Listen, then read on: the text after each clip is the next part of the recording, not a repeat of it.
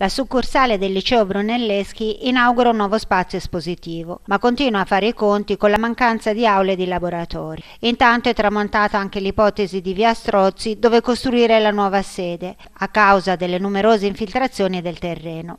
Stiamo lavorando di concerto con il Consiglio di Istituto per trovare delle soluzioni.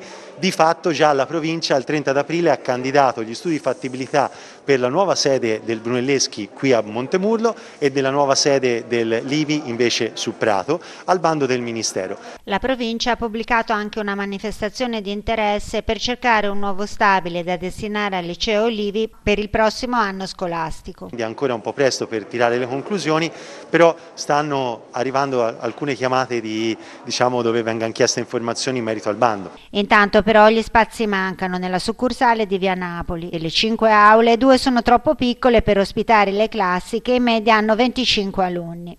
Questo spazio potranno far vedere il lavoro che sta crescendo con loro e farlo fruire al territorio e alle famiglie, insomma un'apertura al, al mondo esterno. A inaugurare il nuovo spazio una mostra di 49 progetti elaborati dagli studenti del biennio per abbellire l'ascensore. A votare il vincitore, insegnanti, studenti e alunni.